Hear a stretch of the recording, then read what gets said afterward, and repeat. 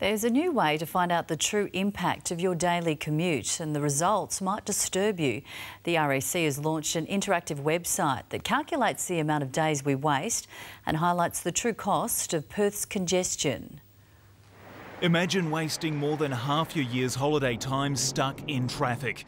In Perth, that's happening already. We've got a congestion crisis.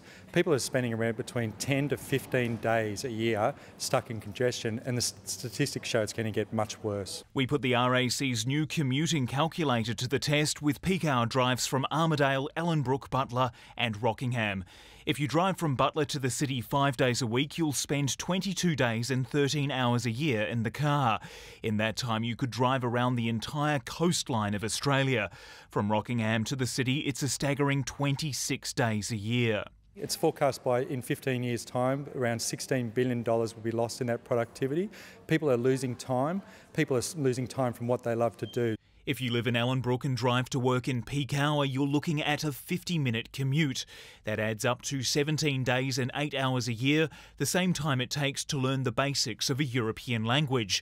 While an Armadale resident's 19 days and 2 hours could be better used joining a charity program to build an entire school in Africa. In the next decade, WA is expected to become one of the most congested states in the nation. By then, Infrastructure Australia says we'll have seven of the 10 worst roads in the country. The website also allows you to calculate your commute if you walk, ride, or catch public transport. To find out how much time you're wasting, head to australiasworstcommute.com.au.